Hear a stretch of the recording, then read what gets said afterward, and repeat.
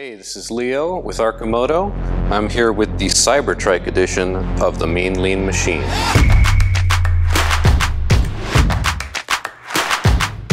So the Arcimoto Cybertrike has three-wheel drive and a tilting suspension. The beauty of three independent motors becomes apparent when you're on rough roads or making tight turns. This is our fourth prototype and it represents a number of improvements towards increasing performance and making it manufacturable. This version 4 has carbon fiber wheels which reduce the weight and reduce the price. The suspension has been revised so as to make it robust and increase range of motion.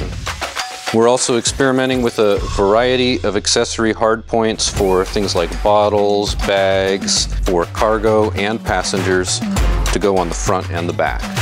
Your display is going to demonstrate things like speed, state of charge, estimated range. We're testing the V4 with both a pedal-by-wire torque sensor, allowing you to pedal and get that bicycle feel. We also have a thumb throttle for those times when you don't want to pedal.